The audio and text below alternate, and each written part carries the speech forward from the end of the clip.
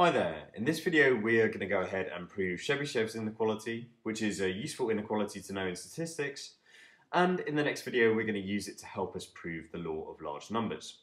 So what is Chebyshev's inequality? Well it says that the probability that some random variable x differs from its um, mean mu by some sort of amount which is greater than or equal to a, which is just a constant, is going to be less than or equal to the variance of that random variable x, divided by a squared. Okay, so how do we go ahead and prove this? Well, first of all, we write down Markov's inequality, which is, if you remember from last time, the probability that some random variable x is greater than or equal to some constant a has got to be less than or equal to the expected value of x divided by a. Okay, so that's just what we proved last time. But there's nothing to stop us with replacing x in the above relationship with the modulus of x minus mu. Yeah, that, that itself is a random variable, so there's no reason I can't just replace um, x in the above equation by modulus of x minus mu because this above relationship Markov's inequality should hold for all random variables.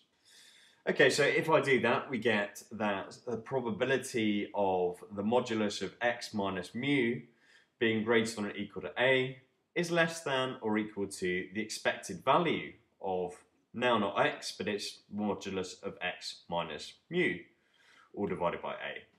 So this is starting to look a little bit similar to what we've got above, but the problem is the right-hand side looks a bit different. We can make it quite similar though, if we realise that we can write the probability of the modulus of x minus mu being greater than or equal to a is actually identical to the probability that x minus mu all squared is greater than or equal to a squared, right? So let's just think about that for a second. If x is less than mu, that's going to be a negative number, which when I square it, better be greater than or equal to a squared. And if I was just sort of thinking in these terms, um, if the difference between x and mu is negative, but the sort of absolute value of that is greater than equal to a, then when I square that, the absolute value of that is going to be greater than or equal to a squared. And obviously that's going to hold true as well if x is greater than mu. That's a sort of trivial case. So yeah, th these sort of two probabilities are absolutely identical.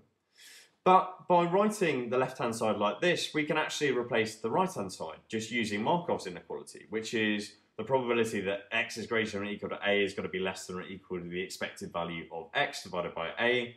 But now we don't have x, we have, on the right hand side, we have the expected value of x minus mu all squared, right? And now instead of having a, we have a squared.